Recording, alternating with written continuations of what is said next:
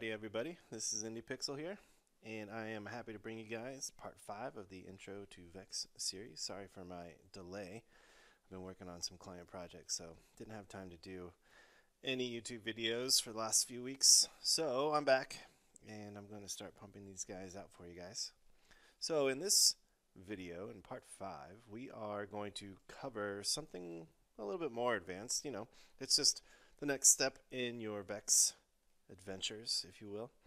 So what we're going to do is we're going to learn about how to find neighbors and how to use PC Open. So let's talk about neighbors first. So what I want to do here is I'm going to show you guys how to find the neighbors of a particular point that you provide. And in this case, we're just going to assign some point colors to them so we can identify them uh, just for learning purposes. So once we do that, then we're going to figure out how to use that same sort of technique to find borders on a particular piece of geometry. And it, it, in this case, it actually works better when you have organized points. Uh, we'll see in the last example in this tutorial how the borders don't necessarily work. So we'll cover that when we get to it. And then finally, we're going to take a look at how to use PC Open, PC Iterate, and PC Import to process a PC file. It's like a point cloud file, right? But in this case, we can use that point cloud file to process points on a piece of geometry using Vex. Okay, so then we're going to close out this particular tutorial or this video, and we're going to learn how to actually create a border fall off based on the border of a piece of geometry. And in this case, I just decided to, to create a simple like landmass uh, if you wanted to create you know stamps for some sort of terrain um, in your game. So in this case, we have a digital asset here where you can control the remeshing. Uh, you can control the max points to reduce or increase that fall off. Uh, you can change the blurring amount. So it's kind of like a fake erosion really. It just blurs everything, just smoothing the whole thing. And we can control the height as well, like so. But really what the main concept that I want to show off is this border selection. How do we create this fall off from the border to the inner part of the mesh and for any type of mesh as well. So super helpful and especially when you're doing terrains like this. So let's go over and learn some of the basics first before we jump into this particular example here. So I'm going to jump back out and let's go and create a new geometry container here. And I'm just going to call this neighbors because we're going to cover the neighbors first. Alright, so let's get a grid like so. And we'll leave the rows and columns the same, but I am going to hook up the relationship here. So we always keep it square like so. Okay. So what I want to do is first just identify what the neighbors function inside of Vex does. Okay. So I'm going to drop down a wrangle node here. And what I'm going to do is call this uh, neighbors. Like so. And it's actually not too hard, but what I'm going to do is just walk through how it works for you guys. So the first thing I want to do is create a new array. And I'm going to call this the nays for neighbors, just short for neighbors. And it needs to be an array, so we have to put those two brackets next to it okay, because it's going to fill it with a bunch of points, so all the neighboring points. So basically the concept here is if we have a point right here, I want to find all the neighbors. So it's all the points that are actually attached. So it's going to be these four points here. Okay. And so in order to do this, what I'm going to do is just type out neighbors. And you'll notice if we go to the help, so let's pop open the help here. And let's type in neighbors and we want the vex. There we go. We want the vex version here. So you can see in the help, we want an input number, so it's the points that we want to process. And I actually wanted the neighbors. Hold on one second. There it is, neighbors. All right. So it wants the input and a point number. So this works out pretty well for us because let me hide the help here. What we can do is just give it the current geometry, which is input 0, right? That's that first input there. And then we can give it the current point number. So at ptnum, like so. Now, that will give us, for each point, the amount of points that are next to it. And it will also store the point IDs for all those points. All right, so that's what th this is returning. It's returning, let's go back to that help there. So it's returning a, an array of integers. Okay, so that means we have all the point IDs of all the neighboring points. So for this particular point, we're going to get this point and this point because this point isn't connected. This is where the, the PC open method comes into play because what if I do want to find that point within a radius? So if I have this point selected, how do I find all the points within a radius around that point? So it's two ways to find points in a mesh. So we'll cover that PC open here later. But for now, let's say for int i equals 0 and i is less than, and what we want to do is we want to say that i is less than the number of points that we have inside of this integer array called nays. And in order to do that with a, an array inside of Vex, we need to use that len function, short for length. So we'll get the len of nays and then iterate. So i plus 1, or i plus plus. All right, so now we have a loop, so we're looping through all those points. All right, and what I want to do is I want to say, I want to set the color of each one of those particular points. So in order to set the color of the particular point that we currently have selected inside of this nays array, we need to utilize a function called set point attr or attrib. There we go. And so what we want to do is we want to set a color. So in order to do this, what we'll say is set point attrib. We're going to say geoself because we want to process or we want to set a point attribute on this particular set of geometry itself. And then we want to set the color attribute, so that's CD, lowercase d. The point number is going to be the current iteration that we're on, so it's going to be nays i. And then the value, it's going to be, let's just color these guys red. So that's red. And then we'll set that value like so. And that turned the whole thing red. So let me actually get rid of this set value here. And that's because, well, we are setting all of the points to red right now because what we're doing is we're going through every single point in this particular loop. So what if I wanted to set a particular point? So what we need to do is we need to, actually specify a particular point number. So I'm going to call this the point num, like so. So I'm going to create a new parameter here, and it's going to be an integer channel. I'm going to call this point num, like so. And instead of using that at ptnum, I want to use point num.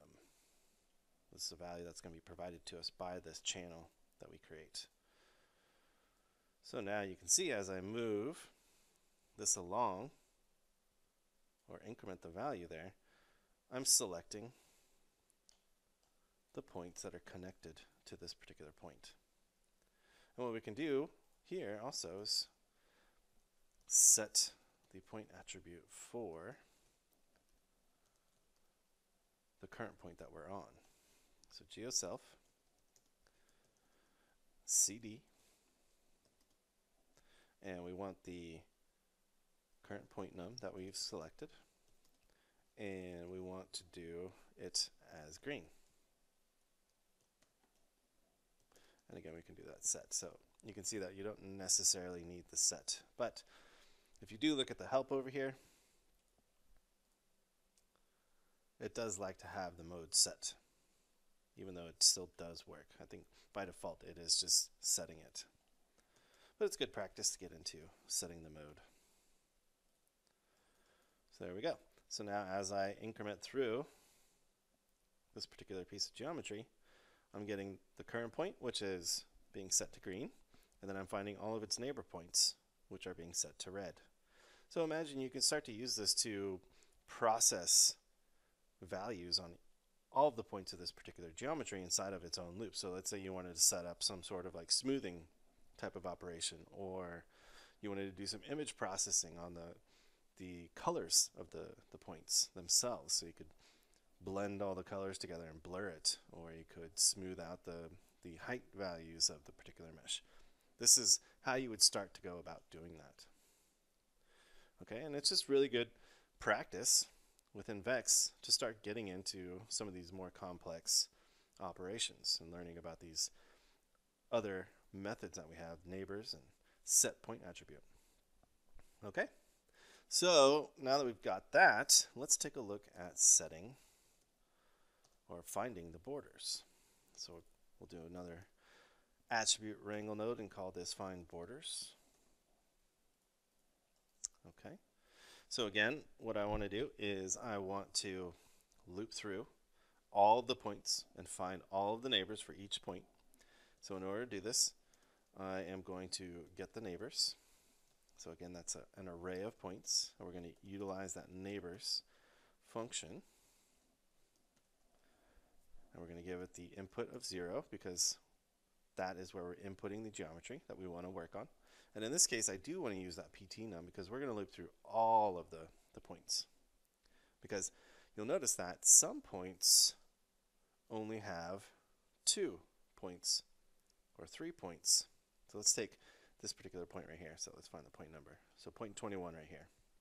So point 21 only has three points connected to it. Whereas if we look at point 20, it's got four points connected to it. So what we can do is we can say, well, if you only have three points or maybe two points, so anything less than four, you're probably a border.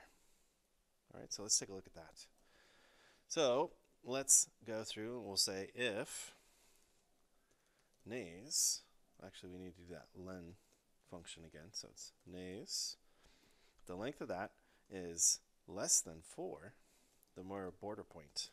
So what I want to do is I want to color it. So we're going to use that set point attrib function. And we want to do the geoself.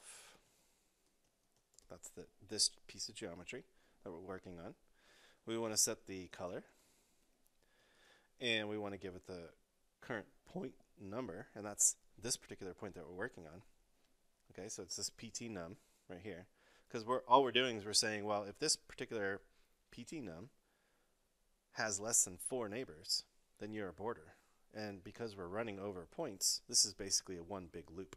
So for each point, this code is going to run.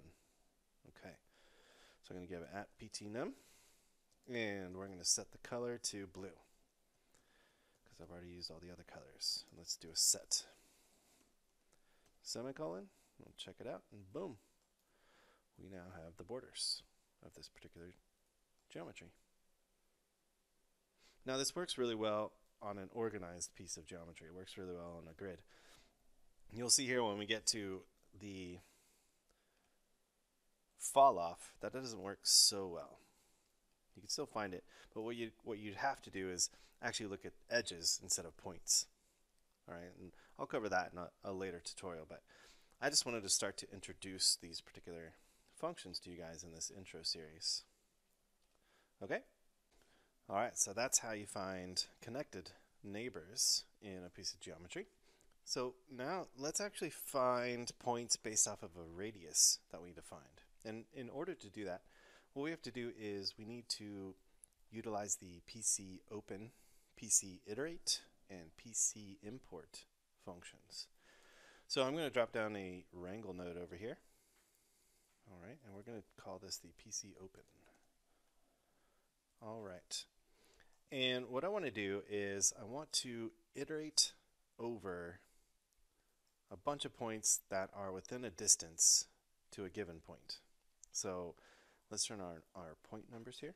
So let's say I pick point 60. So let's do that. Let's say that I want to provide a point number. So we're going to just call this pnt num, and that's going to be equal to CHI, because we're just going to allow a user to define the point number. Okay, and we will create that channel. So currently we're picking point number 0 over here. So I'm going to set it to 60. All right, so that's going to set the point right here. All right, so what I want to do is I want to create another integer, and I'm going to call this handle. And we're going to say this is equal to PC open. All right. And what I want to do is first go and just look up that help. This is what I always do. So whenever you're learning something, you want to utilize the help that we have here that SideFX provides. So PC open, what it wants is either a file name, which is a string, or an input, which is an integer, a channel, a vector or a string, a radius, and an integer of max points over here. Okay, so what I'm going to do is say 0 for the input. Uh, for the channel, I'm going to find the position, so P, and we're going to utilize the position of the current points. So in order to get the position of the point that we have selected, we need to provide another variable here, and that's going to be a vector because we want the position. Everything's going to be based off of the position that we provide.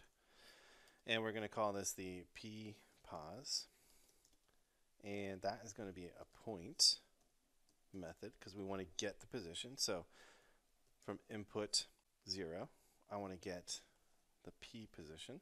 All right, so if we type in point over here for our help, there we go. We want the string geometry or the op input, which is 0 in this case. And we want the string attribute name, which is p for position, and the point number. So let's put in that pnt num. There we go, and that gives us the point number. So now I want to provide that, so we're going to say ppos. Whoops, there we go. ppos. So let's go back to our PC open help. There we go. So now we have the position. Let's give it a radius. So this radius is going to be based off of a channel as well. So I'm going to just give it a CHF for a float channel and call this the radius. And then I want to do a max points, and that's an integer. So we're going to do CHI and call this max points, just to keep everything simple. And with that, we are now going through the current selected position. So we find a point that we want to use based off of this channel right here. I'm also going to go and create the other channels, so these two guys, radius and max points. I'm going to set the radius to 1 and max points to 5 for now. Alright, so again, we're finding the point number that we want to base our search off of. We're finding the position of that point number that we selected. And then we're opening a point cloud file and storing it inside of this handle. Now this handle is the ID or the integer value of this particular file. So we can use that in the PC iterate and the PC import functions. This is needed by those functions. So PC open is where you start when you start working with these point cloud files. Okay, so now that we've got that information up and running, so let's do a while and we'll say PC iterate like so, and we'll provide it the handle is greater than zero. All right, so we're going to check out the help on this one to figure out why this works right here. So let's go back to the help and let's do a PC iterate.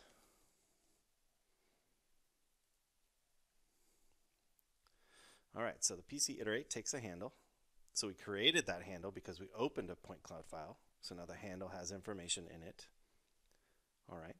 And you can see right here it says the function returns 1 while there are points left in the iteration loop, or 0 when there are no further points. So because we have a radius and we have a set max points, what's happening here is we're putting a bunch of points into this point cloud file. And all this is just being stored in memory. Okay. And so that file now has a handle, so we have a link to this particular file, and this file contains all these points that were found within this radius and this max points channel. So what we're doing is we're saying, okay, or what PC iterate is doing is saying, okay, I'm being given a file using the handle, and for every point, I want to do something inside of this while loop.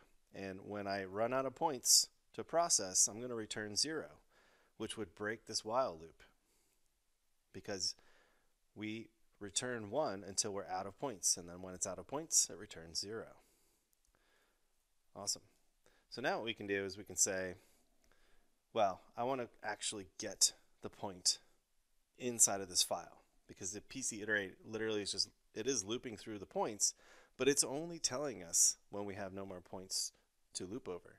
So what we need to do is we need to say, well, we need to get the current point. So I'm going to create a new or yeah, a new attribute or a new variable called current point. And I'm not going to assign anything to it because that's where the PC import comes in. PC import, let's take a look at the, the help here. So PC import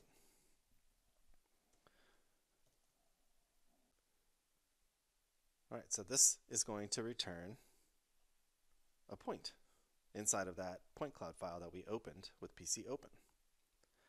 Okay, so what we need to do is say PC import. We're going to give it the handle. So that's the file. So let's give it our handle. And we want to do the string channel name. So in this case, because I just want the point number, you can see down here there are a couple of special channel names that we can import because these are most likely the more common things that you're going to want to do when you start working with these point cloud files. Okay, and so I am going to say that the channel name is called point number because I really just want the ID, the current point that we're on, while looping through this PC iterate function. So I'm going to say point dot number, and then finally, I want to store that value and because here in the help, whenever you see this ampersand right here, that means that what it's going to do is it's going to store the value into that particular variable that you provided. It It basically, think of it as it's exporting the value from this PC import into this current point variable or whatever variable that you assign to it. So what I'm going to do is say current point And now what it's doing is every single time we're running through this, it's storing the current point ID, the point number, into this variable right here. So now we have access to it. So what we can do is we can set an attribute on it. We can set any attribute that we have. In this case, I'm just going to use color because it's visual and it's easier to see on the video. So we're going to do a set point attrib function. And we're going to do that geoself again because we want it on this particular piece of geometry. So let's take a look at the the help again. All right, so the string name, I want to set the CD. All right, and then I want to set that point number. Now that point number that we're currently on is this current point. So we can copy that and paste that right there. All right, and we want to give it the value. So in this case, I'm going to color all these points green. So I'm going to use those whoops, these brackets right here, and we're going to say 0, 1, 0. And we'll set the mode to set and close out that function. And I put that in the wrong deal. There we go. So now you can see we are selecting the points that were, are within that radius that we currently have selected, radius of 1. All right, so I can increase this and then increase the amount of points also and then decrease this there we go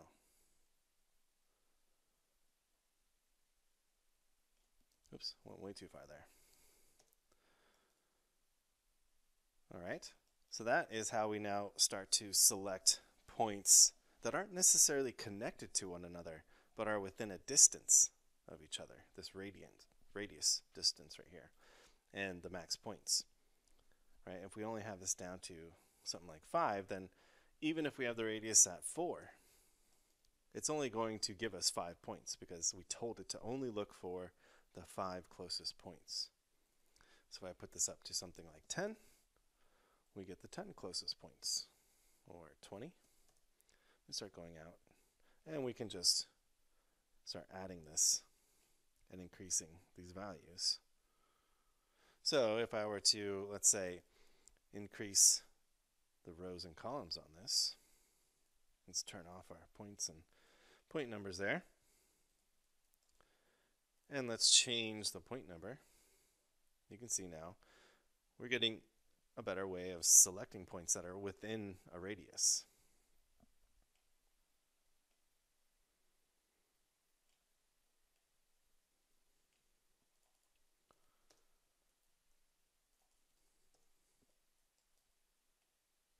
There we go.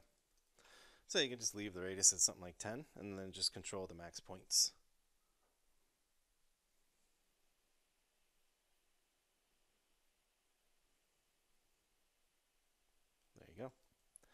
And that is how you use the PC open, PC iterate, and PC import methods inside of Vex to search for stuff that's around a particular position in space.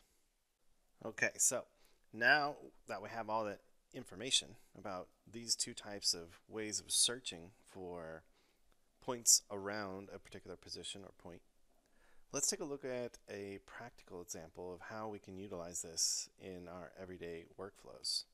So in this case, what I want to do is I want to create a fall off based off of some random shape that I, I create, not, not a grid. I want to create some random fall off and give myself the ability to control that fall off. So I want to be able to either increase that fall off or decrease it or decrease it and then just change that blurring amount.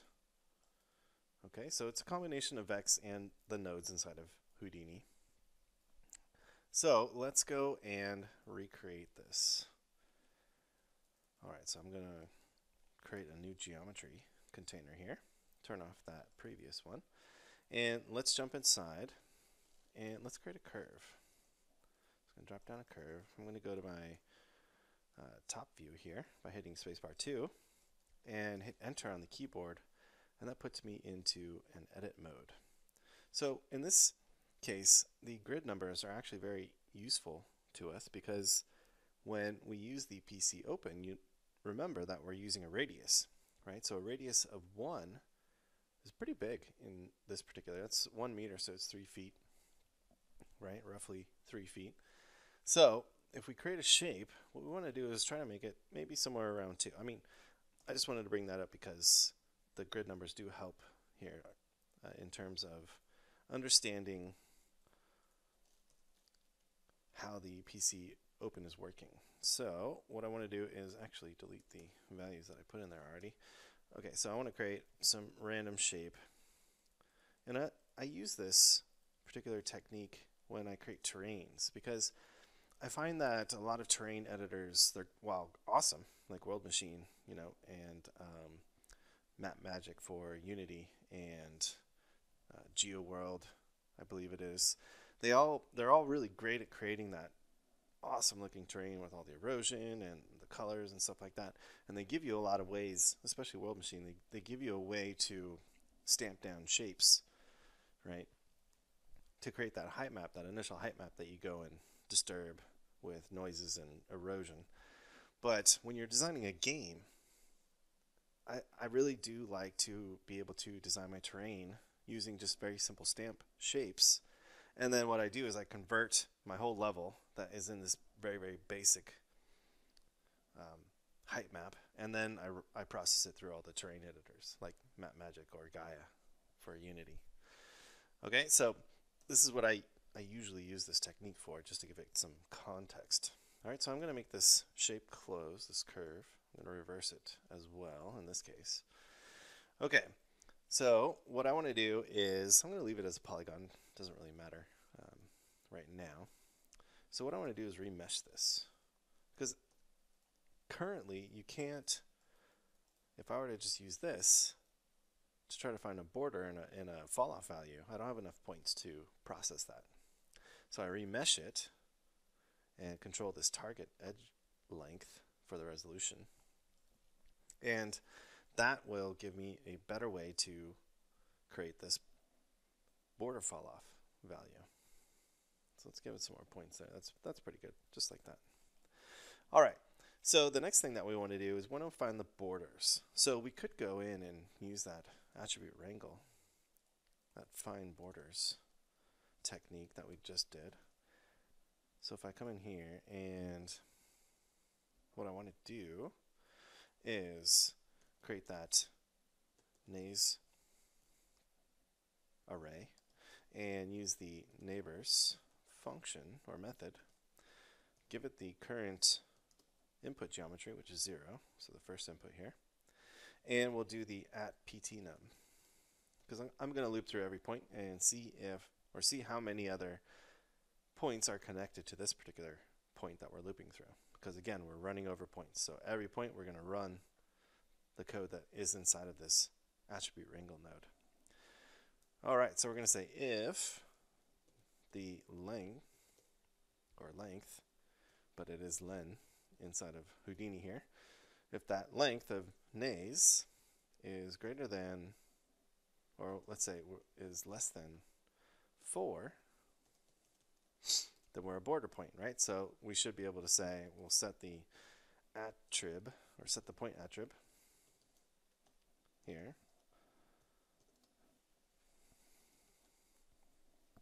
And again, it's geoself. And we're setting the color. And then we want to give it the point number. So that is the current iteration that we're on.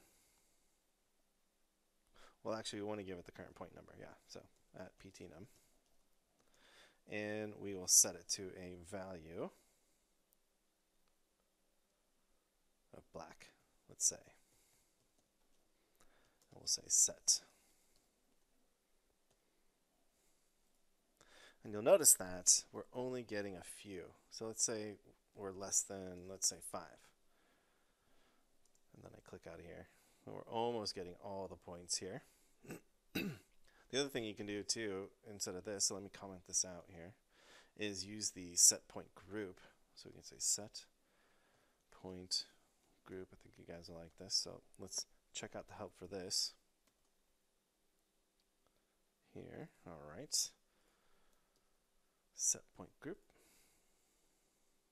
So we want the geo handle, which is zero.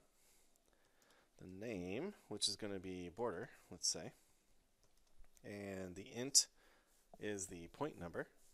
So that's going to be at ptnum. Okay, so the value is going to be 1, and our mode is going to be set.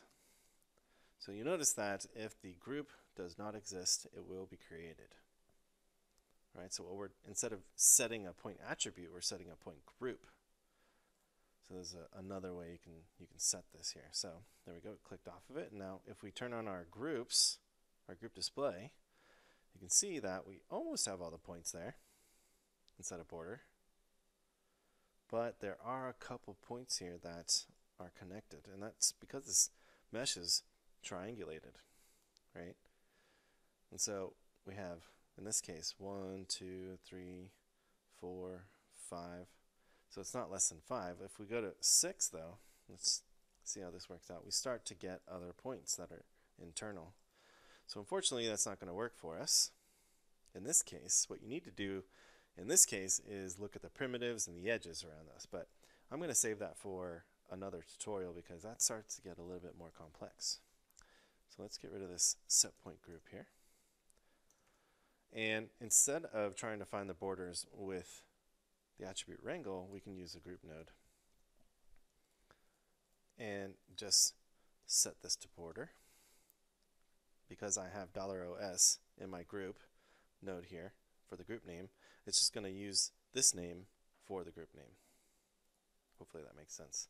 And instead of using that base group, I'm going to say include by edges and say unshared edges. And set this to points, and you can see now we get all the edges, or the border points here. So, much easier. Okay, so with that, what we can do is then go and drop down a color node and colorize We'll call this set initial color. And we'll set the border points to black. There we go. Perfect.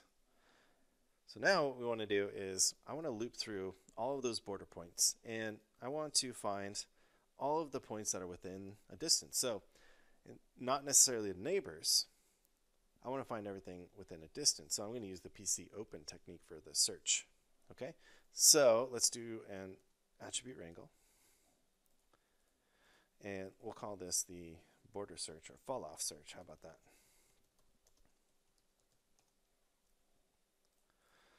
All right.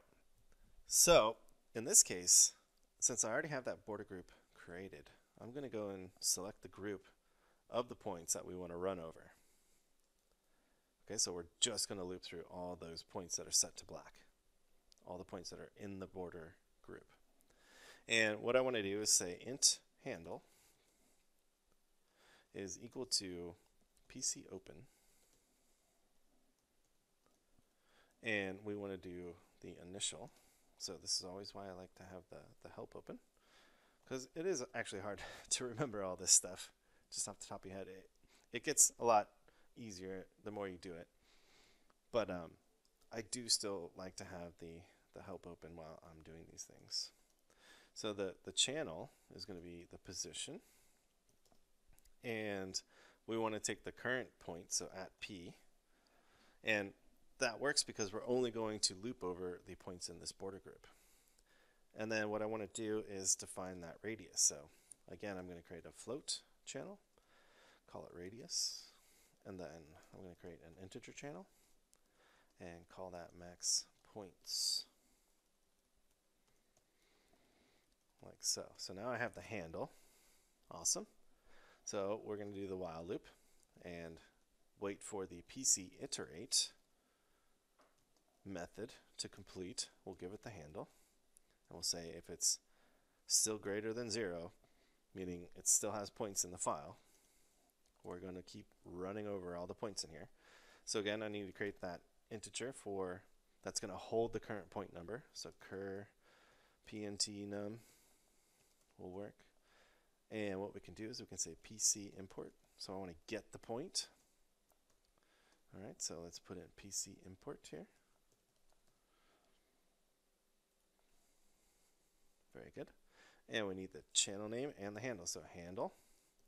Channel name is going to be our point dot number. Remember, that's a special case for this particular function, point number. And I want to store the value into that cur pnt num variable that we created earlier on. Okay, so for each one of those points that we find, we want to color it black as well. So we're going to say set point attrib. We'll say the geo self. We want the channel that we want to set, so that's the color. So C small d. We want the point number, so cur pnt num, and we want to set it. Well, first we want to set the color. So 0, 0, 0, and then set the mode to set. there we go. Let's create our so we'll create the radius and max points, and you can see now we're getting a nice fall off. And we can basically fall off all the way into the middle. change the radius a little bit more, max points, and there you go. So you might be asking yourself, okay, so now how do we smooth this out? Because this is still not totally working here. All right, so I'm going to leave this to a radius of 2 because that is our max width and depth. So in order to smooth it out, a really quick and easy way is to use the attribute blur. So I'm just going to feed the results of this search into the attribute blur, and we'll just call this the blur. And what I want to do is blur the CD, the color. And there you go. And you can make that more refined. You can play around with these, these values. So now it becomes a combination of adjusting these values and the blur values. And that's literally all I did. Nice. Pretty cool little effect there. There you go. And that's how you can get some really, really accurate, uh, smooth border fall off colors.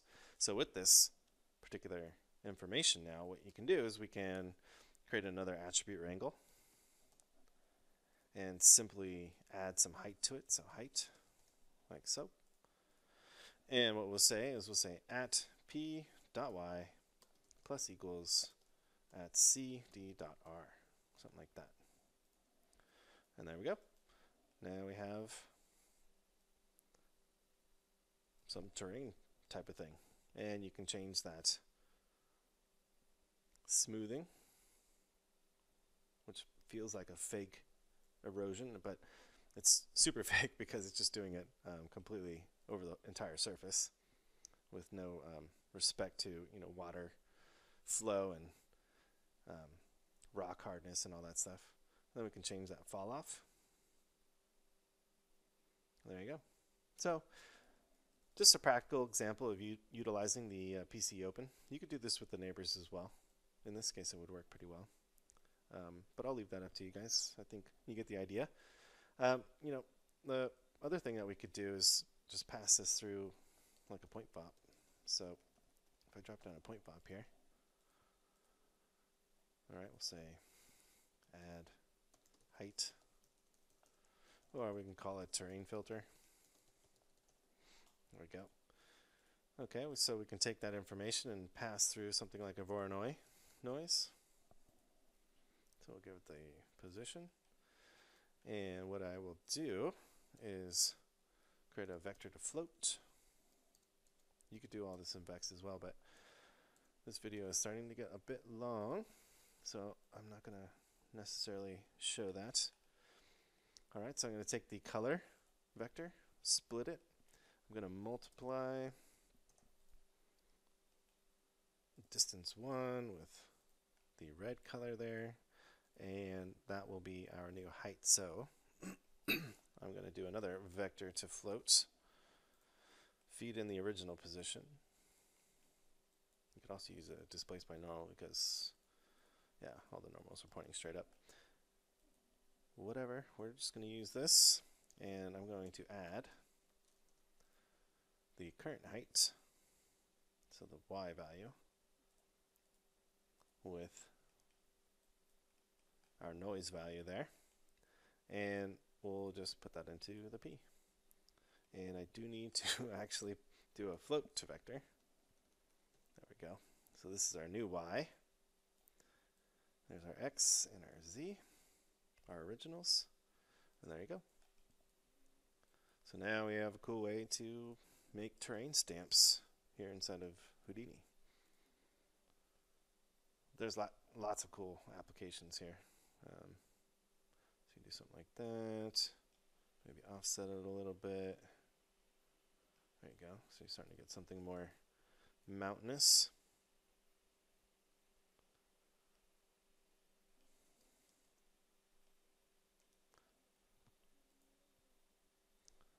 All right.